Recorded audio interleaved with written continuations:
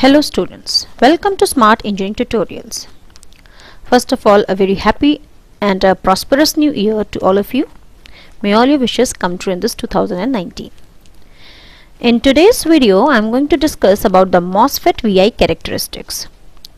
So in fact, before drawing these VI characteristics for this MOSFET, we will first derive the equation of the drain current since this equation will play a major role in drawing these characteristics. So actually this MOSFET uh, current voltage relationship analysis is actually a three-dimensional problem which is quite complex.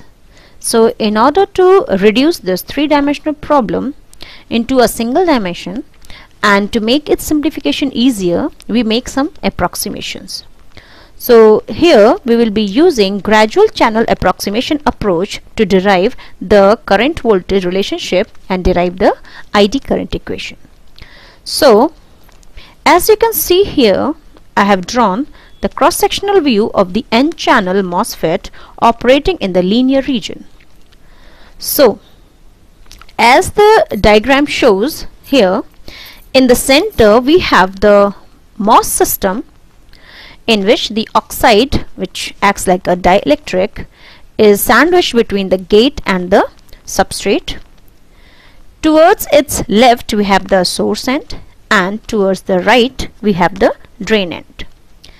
As you can see here the substrate sorry the source as well as the substrate which is also called the body they both are grounded and hence we have put Vs and Vb equals to 0 the uh, voltages VGS and VDS these two are the external parameters which control the value of ID.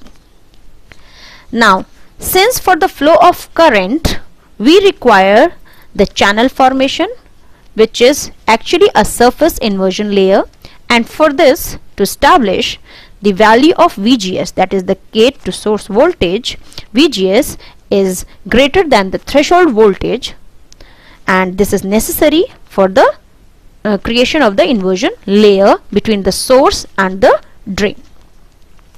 Here in this diagram we have taken the xy coordinate system and the x uh, coordinate or the x direction is perpendicular to the surface pointing downwards into the substrate whereas the y direction is taken as parallel to the surface. Now here the channel which is lying between the source and the drain we have taken the length of this channel as capital L and here the y uh, direction it starts from the source and for this reason the y value is 0 at the source end and it extends to y equals to L at the drain end since the channel lies between the source and the drain. Now the voltage inside the channel is different at different points. As the channel length varies the value of the voltage also varies. So we take this channel voltage or we write this channel voltage with respect to the source as VCY this suffix C shows this is a channel voltage and Y shows the value of Y at different points so the value of Vt naught which is the threshold voltage is assumed to be constant throughout the channel from 0 to L. But actually it is not so. This is just an assumption because the channel voltage is also not constant and hence the threshold voltage also cannot be constant because it depends upon the channel voltage too. As in the uh, system or in this diagram we have taken the xy coordinate system. Similarly the electric field will also be having two components the ex and the ey now the next approximation is that the electric field component which is in the y direction which is uh, known as ey is taken to be as the dominant value as compared to the value of ex in the x direction. This approximation is done so that the current flow is considered only in the y direction and this uh, three-dimensional problem is reduced into a single dimensional current flow problem. So with this assumption the current flow problem is now confined only in the y direction. Now the boundary conditions for this channel voltage which, which we have already said VCY its boundary conditions or this its values are Vc at y equals to 0 which is at the source end it is equals to Vs which is equal to the source voltage and its value is 0 since Vs is grounded. Also the value of channel voltage Vc at y equals to L that is the end of the channel towards the drain. So it is equals to VDS because at the drain end the voltage at the drain end the voltage is VDS. So these are the boundary conditions which are going to be taken for the channel voltage. Now we have already seen that the entire channel is inverted between the source and the drain. So the very basic uh, conditions for the channel inversion to take place is that the voltage at both the ends of the uh, channel that is the VGS as well as the VGD VGS is the gate to source voltage and VGD is the gate to the drain voltage. These two voltages they both have to be greater than the threshold voltage VT naught for the surface inversion to take place throughout the channel. So for this VGS should be greater than equal to VT naught as well as the VGD. It should also whose value is VGS minus VDS. We've already discussed this value in my previous videos on this MOSFET that VGD is equals to VGS minus VDS and since it is also inverted at the drain end so this value has also to be greater than equal to VT. So we have discussed about the VGS and VGD values throughout the channel.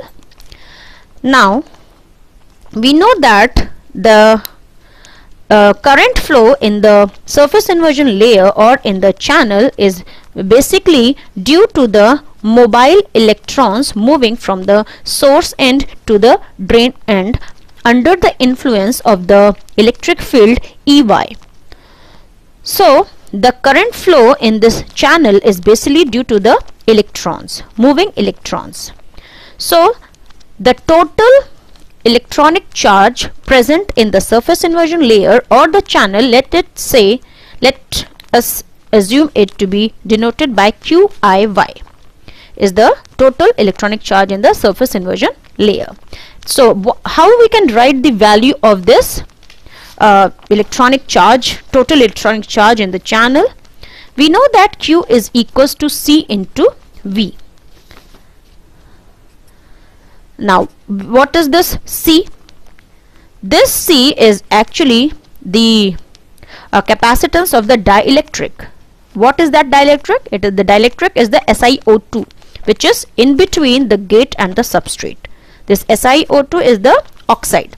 So we denote the C as COX which I have denoted here as. So Q is equals to minus QIY is equals to minus this because of electrons C OX which is due to the dielectric which is the SiO2 and this V. Now what this V is?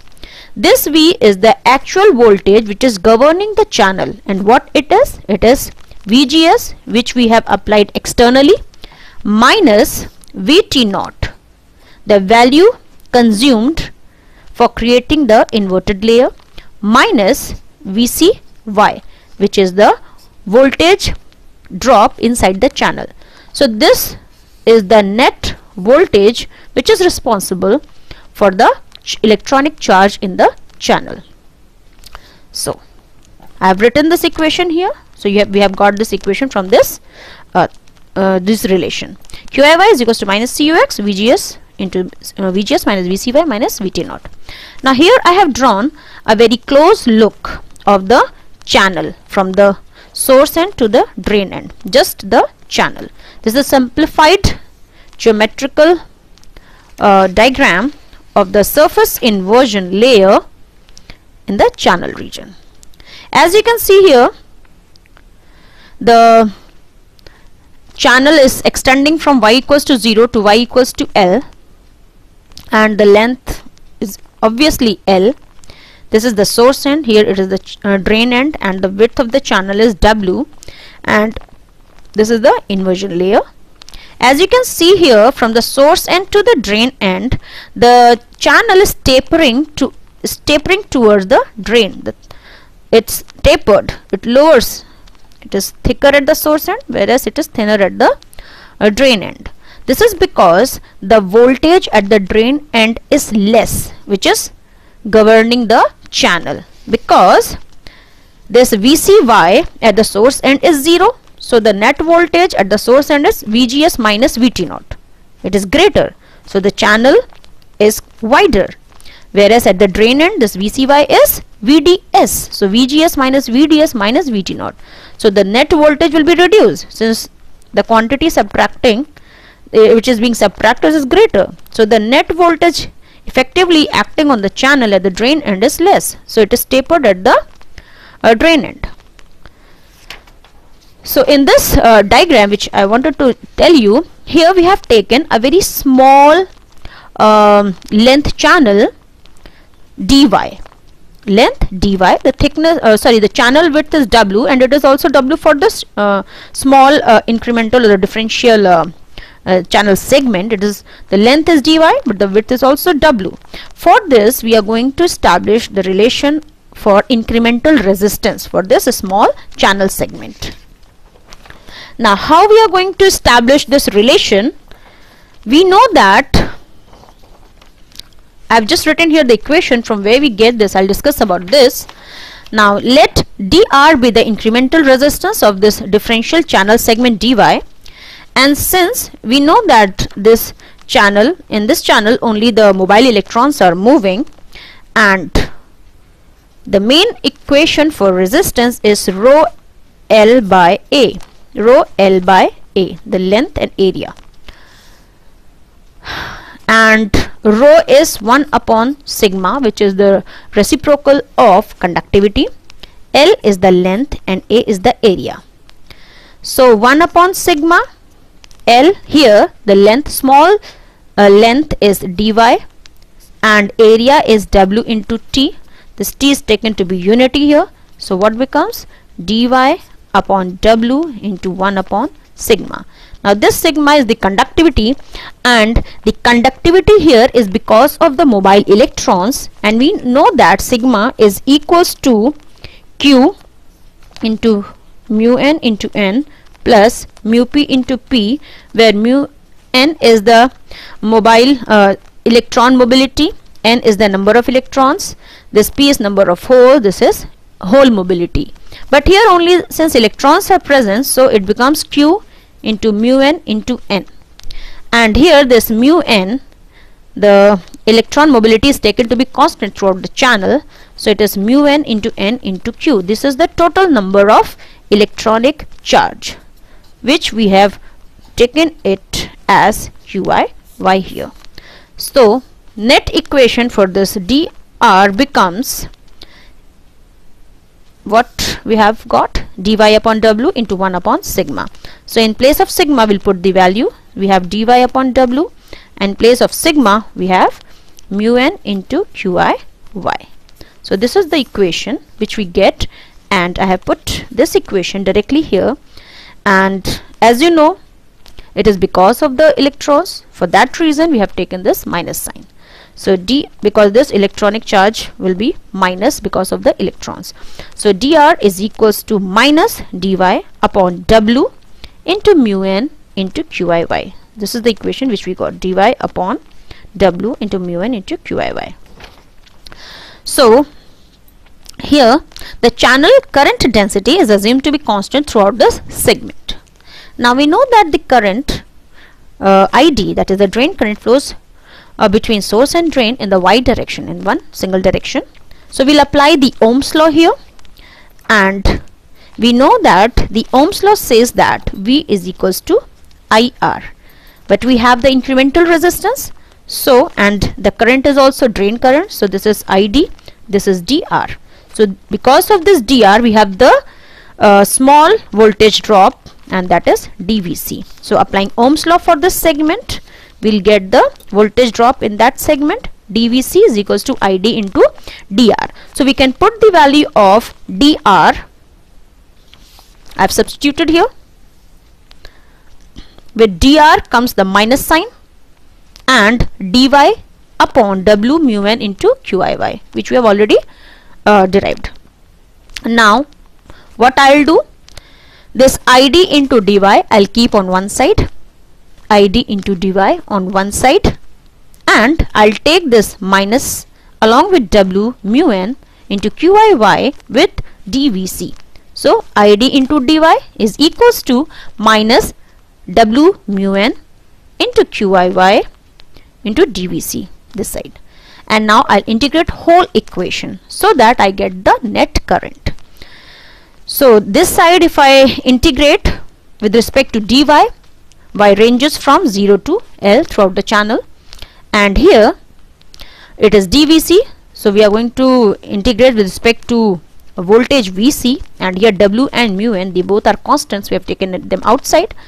So integrate from voltage varies from this vc varies from 0 to vds. So i've just put the limits and when we solve this integration we get L into ID equals to minus W mu n integration 0 to VDS I put the value of QIY which I have already discussed C into V that is minus COX and for V we have VGS minus VCY minus VT naught into DVC.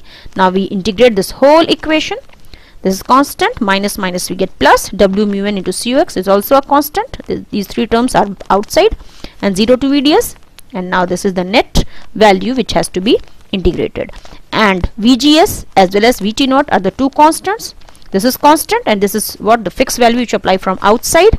And so the only variable here is vc so in this equation the only variable is vc we apply the integration and what we get is w mu n cox by 2 this 2 comes from integration.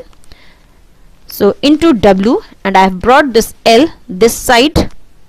So w by L I uh, left id this side only. So id equation we are getting mu n cox upon 2 w by L and from integration we have got these parameters 2 multiplied by VGS minus VT naught into VDS minus VDS square. So this is the net equation which we obtain for this drain current.